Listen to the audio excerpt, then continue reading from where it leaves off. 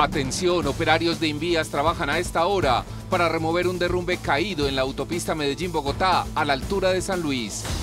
En la Comisión Primera Permanente del Consejo de Medellín se lleva a cabo el primer debate del proyecto de acuerdo 150 de 2018.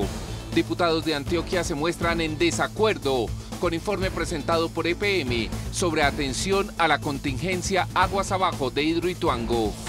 Con el lema Me la juego por los niños, se llevó a cabo un plantón en el Parque de las Luces. Y en deportes, Medellín sale por los jaguares en Montería. Un triunfo lo acercaría a la clasificación. Después de 16 años, Antioquia vuelve a ser campeón nacional de patinaje. Hoy en Destino Paisa estaremos desde Urrao disfrutando de los bellos paisajes del Valle del Penderisco.